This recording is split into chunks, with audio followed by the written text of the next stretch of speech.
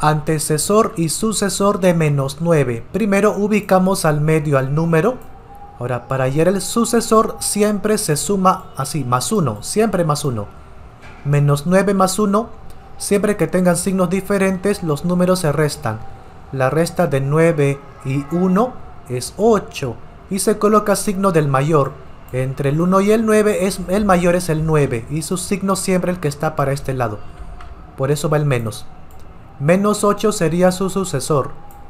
Antecesor es la misma idea, solo que menos 1.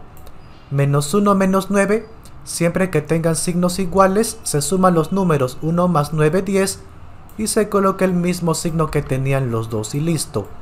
El antecesor es menos 10.